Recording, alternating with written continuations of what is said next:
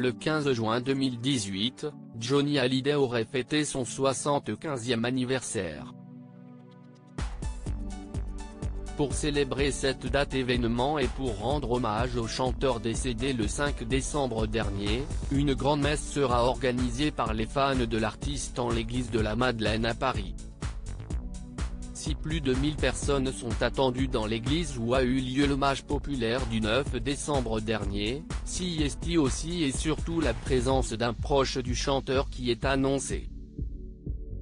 En effet, le Parisien consacre, ce lundi 4 juin, un article à cet événement et assure qu'un membre de la famille de Johnny Hallyday sera présent.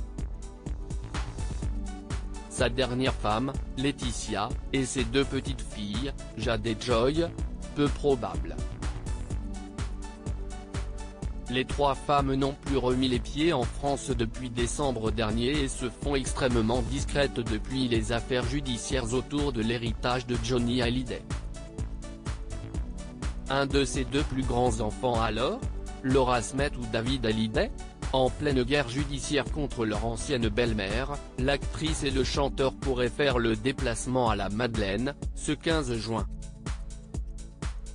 Pour rappel, selon nos informations, les fans de Johnny Hallyday qui organisent cette messe souhaitaient faire payer l'entrée aux spectateurs ou vendre l'exclusivité de l'accès à l'événement à un seul média pour 25 000 euros.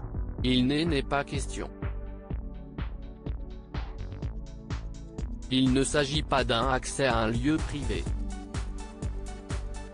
L'accès à l'église est gratuit, a expliqué à Closer le diocèse qui a donc fermé la porte à la monétisation de l'événement.